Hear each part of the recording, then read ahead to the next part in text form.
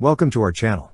Don't forget to subscribe and put likes, because your support is important for us. And here we go. The MOWAG Piranha stands out as one of the most versatile vehicles in the wheeled APC/IFV category. It comes in various configurations including 4x4, 6x6, 8x8, and 10x10, and is produced under license in multiple countries, tailored to meet diverse armored vehicle roles and specifications. Derived closely from the original MOWAG Piranha, vehicles like the Light Armored Vehicle, LAV, and Canadian Bison share its foundation. Originally conceived as a private venture in Switzerland during the early 1970s, the Piranha has garnered significant international interest, with around 11 countries procuring it. Notably, licensed production in Canada, General Motors, Chile, FAMAE, and the United Kingdom, GKN Defense, has contributed to its widespread adoption. Switzerland alone has manufactured well over 2,700 Piranhas across various models. While the Swiss Army acquired 6x6 and 8x8 variants, other nations have also shown interest, though sales of the 4x4 models have been relatively modest. All Piranha configurations share a common design, with many components being interchangeable.